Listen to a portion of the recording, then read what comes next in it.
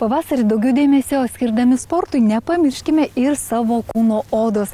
Reikėtų ją palepinti kokybiškomis kūno hygienos priemonėmis ir kremais, o geriausia tokiais, kuriuose nėra parabenų. Pažiūrėkime, ką siūlo kamelijos vaistinė. Vonė ir hygiena tai ne tik malonumas, bet ir būtinybė. Ne vienas vonios kambarys neįsivaizduojamas be būtiniausių hygienos priemonių.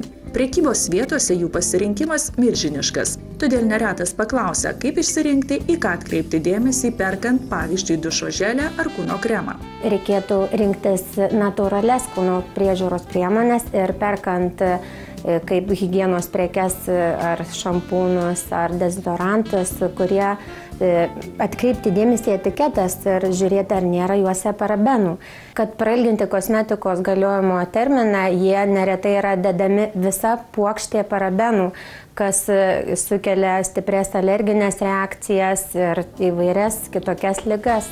Geriausia ieškoti natūralių kosmetikos priemonių ir itin atidžiai skaityti produkto etiketes, kadangi įvairiose higienai skirtose priemonėse galima rasti parabenų - dezodorantuose, kremuose, šampūnuose ir kitur. Jie veikia kaip konservantai ir per odą lengvai prasiskverbia į organizmą. Todėl geriausia rinktis tokius produktus, kurie neturi parabenų. Jie e, lengvai rezorbuojasi per odą, patenka į sisteminę kraujotaką ir sukelia daug šalutinių reiškinių, veikia toksiškai organizmą.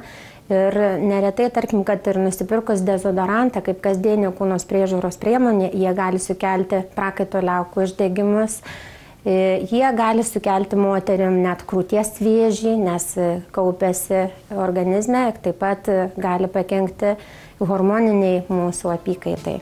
Sintetiniai parabenai esantys kosmetikoje gali būti kenksmingi organizmui, kadangi jie stimuliuoja hormonų gamybą, gali sukelti ir vėžinius susirgymus.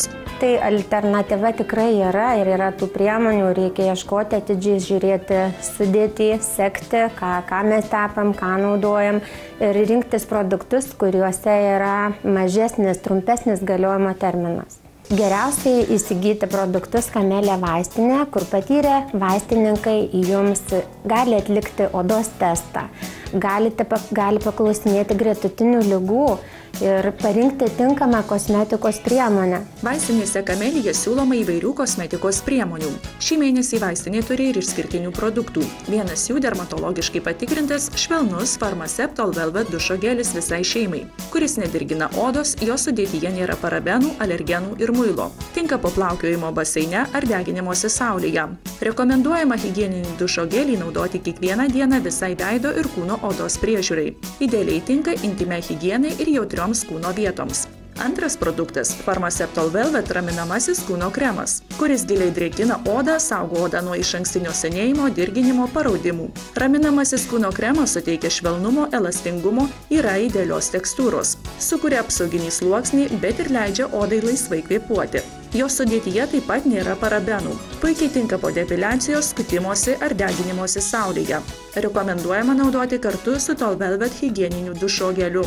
Išskirtinė dušo gelio ir kūno kremo savybė ta, kad jie yra su kamelija gėlės kvapu. Minėtus produktus galima įsigyti tik kamelija vaistinėse. Vaistinėse kamelija jums visada patars padės išsirinkti kokybišką ir efektyvų produktą.